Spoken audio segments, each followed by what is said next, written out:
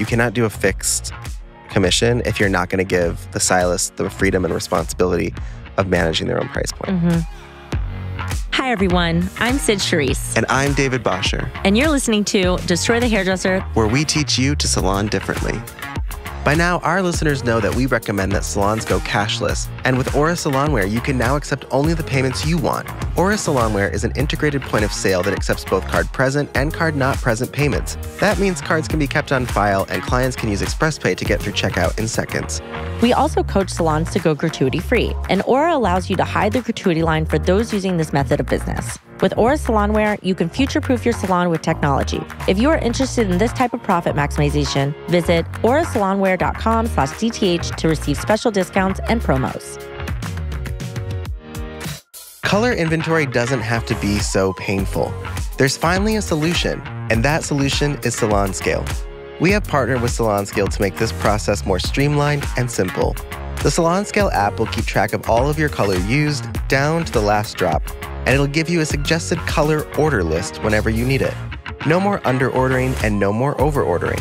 Visit salonscale.com slash DTH and use code DTH10 at checkout for 10% off when people get older, do you like?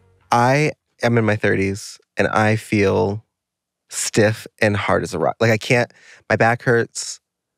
I can't like function properly in the world anymore.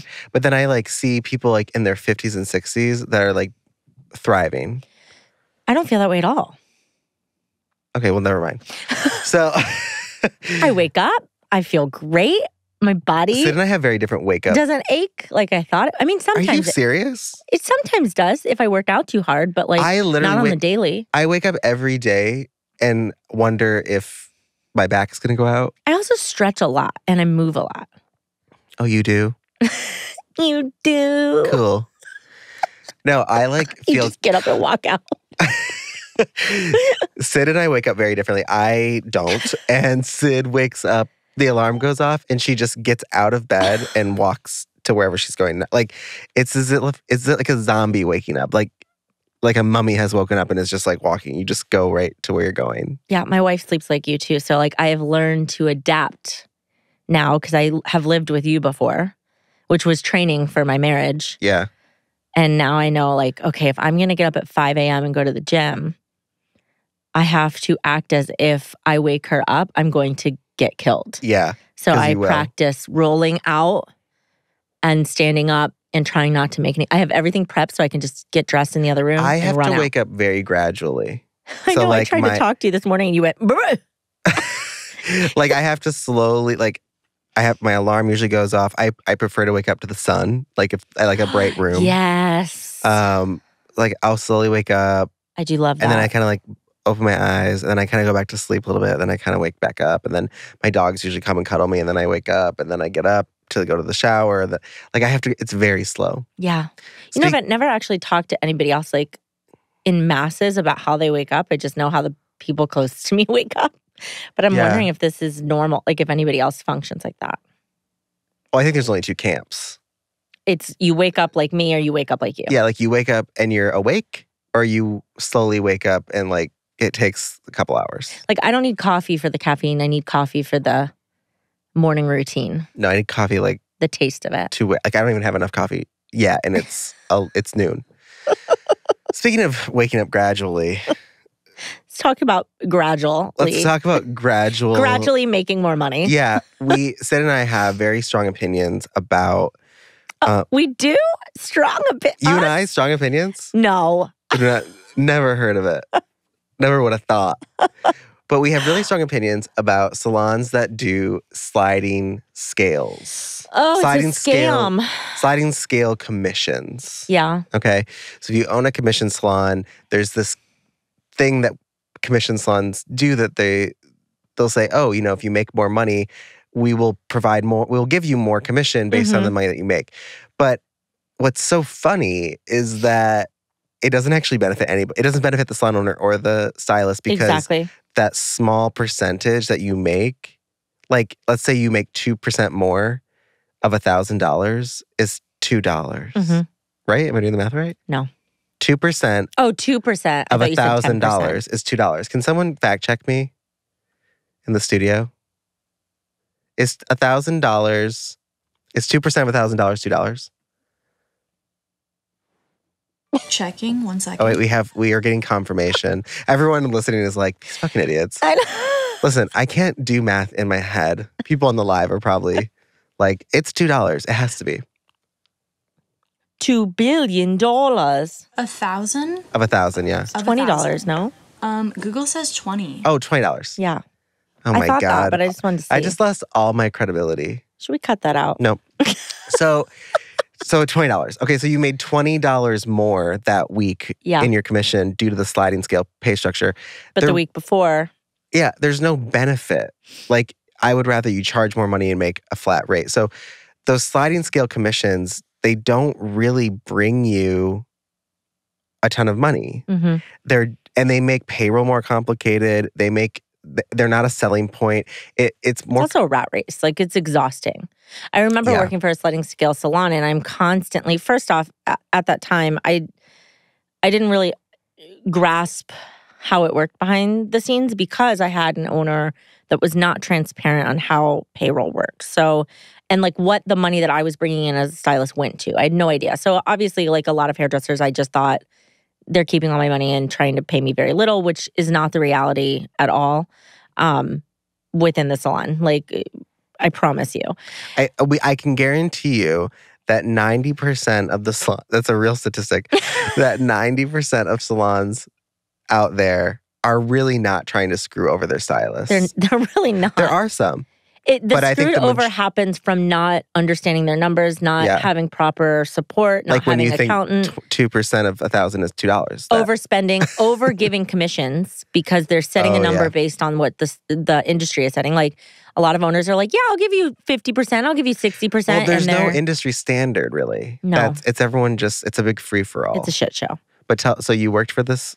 So that's what happened. I I basically was str- I was striving to hit those higher numbers weekly so that I could make more money. Yeah. And I was absolutely exhausted when in reality if I would just raise my prices and work consistently, I Yep. would have made the same as if I hit If those big more. numbers, if not more. Yeah. I I once actually had a student that I worked with and her sliding scale was created by an accountant who that has never worked in our industry mm, Oh, this and is he I've just made it up and it was to be unachievable. So the selling point that's when being hired the offer was that at this point when you get to this point in your career you can make x amount of money. And the reality is is they set it up to it never be possible. And i asked them like has anybody like because you know things can be broken. Has anybody actually achieved it? And she was like not one person not even me. And she was the highest as the owner and educator she was the top seller in the or top provider in the salon the other thing I see in the salons that are a little bit more abusive is they'll use, like you said, they'll either make it unachievable or they'll use it as an excuse to give you a really low commission Mhm. in the in the beginning. you're a beginner So you're at you're forty percent. new so we have to start small yeah Which logically I can say I understand the logic there. yes Um, but on paper on paper I understand the math I understand. yeah But the the way that that affects a hairdresser and how they're building their career is a little bit detrimental. You're making you're charging less and you're making less. It's like it's you're you're almost making it impossible for new stylists to build, hmm right? And to and not only that to make money. Yeah. And I we've I think there's this hangover from the industry of like, well, I didn't make money when I was new. Yeah So like so there's this like you have to pay your dues too. We've talked about this in other Yeah. episodes of like going back into this vicious cycle of like, well, I didn't make money when I first started, so you can't make money when you first started. Yeah. And that has to shift because reality is the owner that's saying that is basically out of pride and ego, hindering not only their own personal business, their the business in itself that is holding the walls up for spaces or for stylists to have a job, but they're also hurting the stylist. Yeah, it, it's like shooting yourself in the foot. Yeah. you know and it i we've said it before and i say all the time building a business at $50 an hour is the same as building a business at $100 an hour Mhm. but what has to change is who you're marketing to Exactly. so you don't necessarily have to, Nothing in the logistics changes. You're still talking about your Yeah. services the same. You're still it's just who you're talking putting to it up. It's just who you're talking to. Like your market has to change. And as you build that price point, You know, it's going, you're putting yourself in a different financial bracket. So I think for people out there that are saying, well, if I don't offer a sliding scale, which again, you can, it's just that we don't. Your business, do you? yeah, we just don't recommend it. it. It's confusing for the hairdresser. It's more work for uh, for the salon owner. It's not a big enough incentive. It, it it's a little bit of a burnout causer. yeah. And then what really what really is going to backfire is when you have people that aren't able to achieve the the sliding scale structure that you have, and then they start to resent you. Yep. And it is on because you. they feel like it's never they're never gonna you've set this bar in their career that this is where they're supposed to be to be top successful when the reality is is they're already successful they're you know their retention or could be through the roof they're not incentivized by that. exactly a lot of people aren't a I'm lot not. of millennials and gen z are not incentivized by those kind of systems Right. what entices them, what attracts them to a business is having a business that is fair, having a business that can provide them long term growth and wealth, that is in society doing good things, that with community culture, like they're changing the world in the sense. And even if the world is a small community, it's a big moment. And I think that's the missing piece that salon owners are missing is that they're They also not and they going want after that. And they want freedom. And when you do sliding scales, I know that it can feel like, well, I'm giving them freedom by, uh, you know, having this system where they can make more money, but it's not really making more money. So, what we suggest at Destroy the Hairdresser, which I don't think we've actually publicly talked about, Yes, we have. not that much. not as much as you know other methods that we teach Yeah. but in the program i mean Oh yeah, in the program, yeah. But um, when you are opening a salon or setting up your structures, or even if you have a salon now and you're interested in changing your commission structure, we recommend making it simple, clear, and very fair. And the way that we recommend that is by offering a flat commission Mhm. with and giving the hairdresser total freedom to raise their prices or choose their pricing. Again, we always coach to hourly pricing. well i want to talk about that a little bit more of a flat commission. We obviously have a specific commission that we actually go in depth in our program and talk about You can tell teach. now. the uh, so we say 48% Yep, that's the that's the goal. Some people start lower than that, but I, yeah exactly. Because well let me go back to my original statement. We say 48% like start everybody at 48% bam it's flat. Because what happens is when you have that sliding scale and you have someone i've seen salons start as low as 20% before and before and i've also worked with salons that were giving away 75% commission which is a whole different conversation um, which was great for the stylist salon was not doing well uh, I wonder why. I wonder why. but the reality is that what happens is, especially if you don't have support, if the stylists don't have support, they're not being coached within their business. They're not being, you know, encouraged. They're always, when they want to make more money, they're going to come to the salon and say, I want a higher commission. And what this flat rate does is, yes, we're going to start you off here, but in order for all of us to make more money, we have to continue raising prices. And it's so funny to me when everyone internally in the business thinks that in order for you to make more money that the business has to pay for it when the clients that are bringing the money in should be the one that pays for this growth. We are proud to introduce you to Hair Story. Hair Story is known for their clean and safe ingredients, but did you know that they have one of the best affiliate programs on the market? You can earn 25% on all sales when your clients use your custom Hair Story link, plus receive money on your purchases made by hairdressers you refer. For clients, they will receive 15% off their first purchase using your link. Need back bar? No problem. As a Hair Story Pro, you will unlock generous back bar pricing. Ready to try New Wash for free? Visit hairstory.com slash DTH to get pro access today. I was talking to someone that said, you know, they didn't think commission was a fair, It hasn't Was a been. fair and sometimes it is and sometimes it isn't. and sometimes it isn't. We're obviously trying to change that uh, by coaching, but like you said, said we we we recommend keeping it at forty eight percent, um, and then allowing the stylist to raise their prices whenever they feel it's necessary. Um, and again, this this is a podcast episode. This is not a coaching. This isn't one on one coaching. So obviously, Yeah, this conversation is very business. We would look different. at your numbers. We would but really break things down. it's about changing the way we think about getting paid. And also for hairdressers out there that think that their salon I hate saying salon, their boss is taking all of their money. I can tell you they're not. It's this. It, it's not hap. It, it even if they are, they're still. It's still not enough, right? But when you are in commit, when you're in sales and services and commissions, it's a great way to make money, hmm and it's a fair way to make money. Well, when it is done properly, it's it's fair properly. and profitable for both parties. Exactly. And that's what's so great. You know, it gives an opportunity. Not everybody wants to run their own business. Not everybody wants to be an independent, but some people want to work for someone else and be in a culture where there is a commission setting, you know, technically. when I do hair, I love. Even now, I like going to like if I go to a salon, you want to work with people. I want to work with people, and I also want all the stuff to be there. I don't want to bring all my own exactly. stuff. I don't want. Some people want that. That's why I hate like when someone's like, commission's not working. Well, it, it could and it can be fair and it can be profitable. And for those people, if if it's done right, it's so successful. Commission is any other uh, company that does commission. It's not. It's never going to be forty percent. The Mhm. hair industry is one of the only industries where forty eight percent is what you get, and it's quite a bit. If you do real estate, if you do other things, you're making 10 or 20. If you're an agency, you're making around 10 or 15 or 20, 25, 25. 25 is high for an agency. you yeah. know? So it's like we as hairdressers are like 48. I can't believe they're taking 48% or whatever it is. And it's like we But there's been no such- legal standard. There's been no real standard. Yeah. Exactly.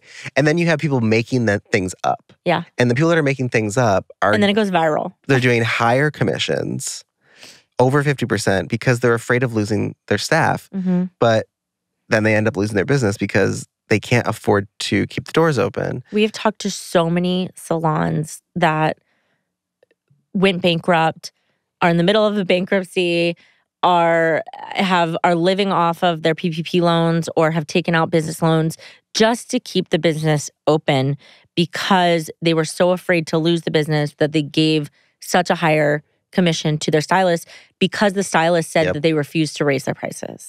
So there's a couple things here. You cannot do a fixed uh you cannot do a fixed commission if you're not going to give the stylist the freedom and responsibility of managing their own price point. hmm You also cannot just give out a flat commission and you know have all these boundaries and barriers around how they can build their business. The goal of you giving a flat commission is saying this is what I can offer as a space.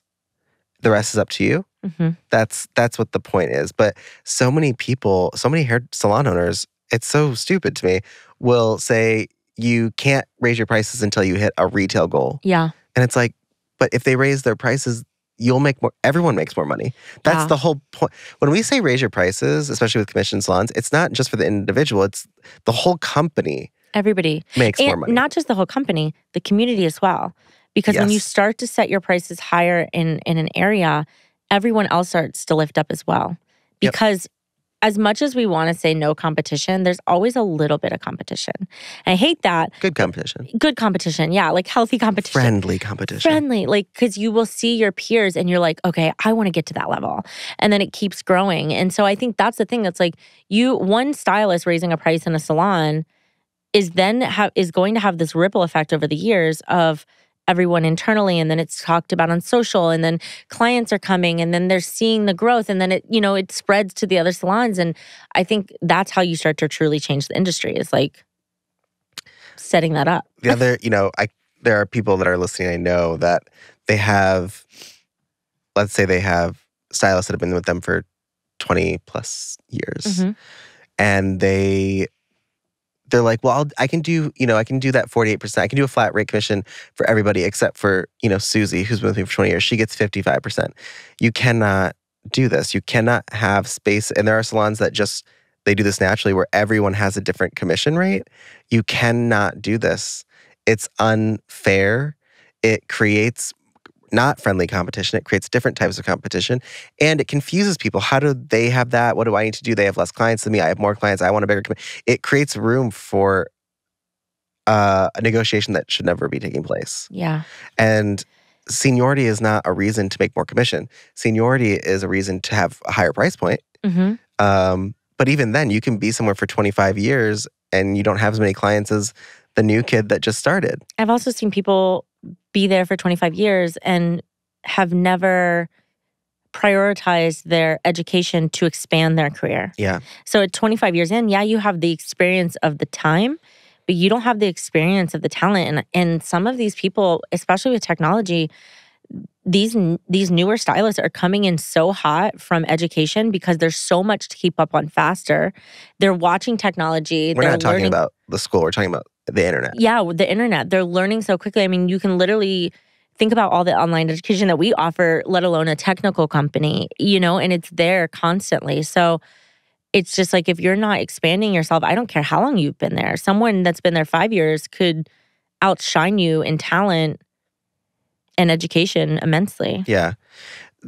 The goal of that keeping that commission steady is to create an even playing field. Mhm. Everyone here has the same opportunity to earn the same amount. And what can set them apart is them deciding what they're worth. Yeah.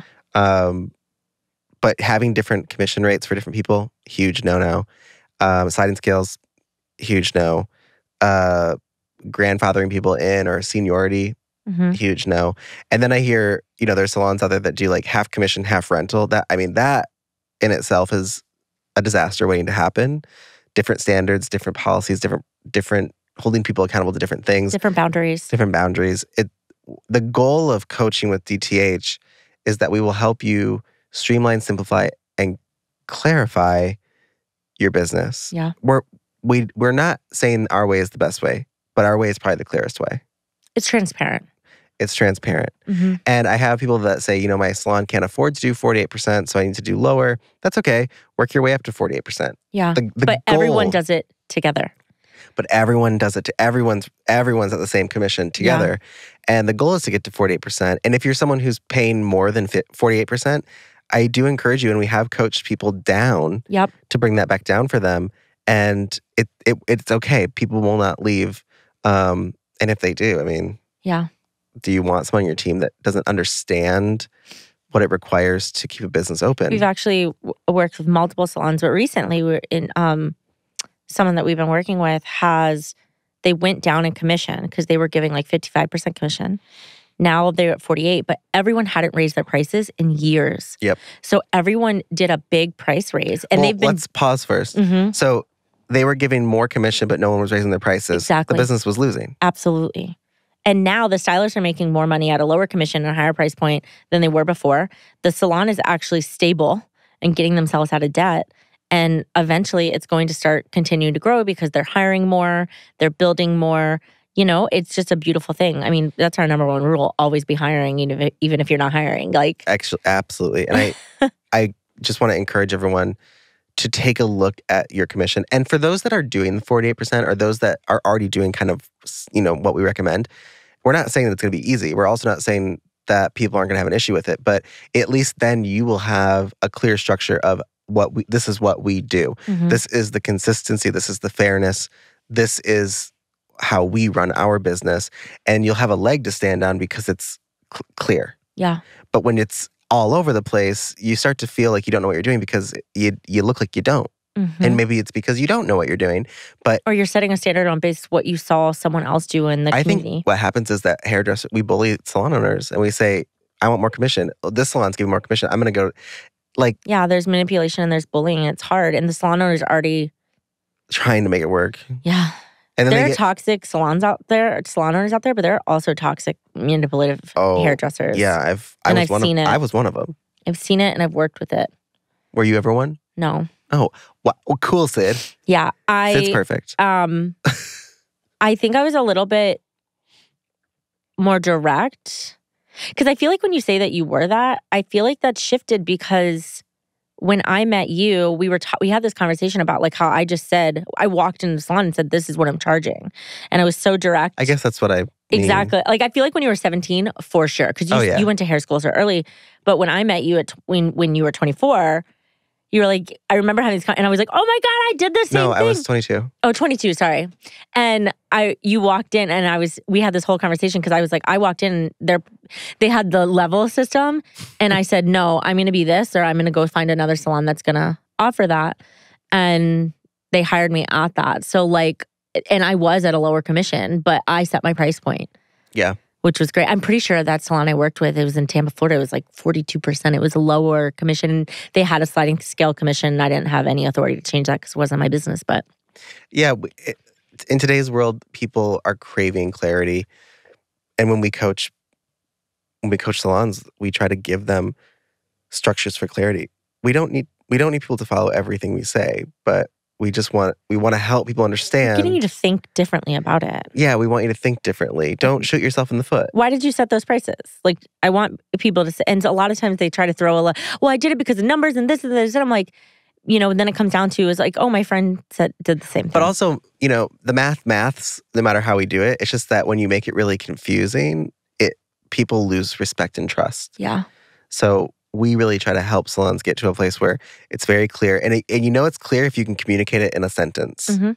But if you have to explain in a spreadsheet how you pay people, Yeah. not a not a good idea. No more sliding scales, y'all. Next time on Destroy the Hairdresser, the podcast. You all were just talking about interactions Talking with clients Yeah. in a way that no one in my community was being like honest about.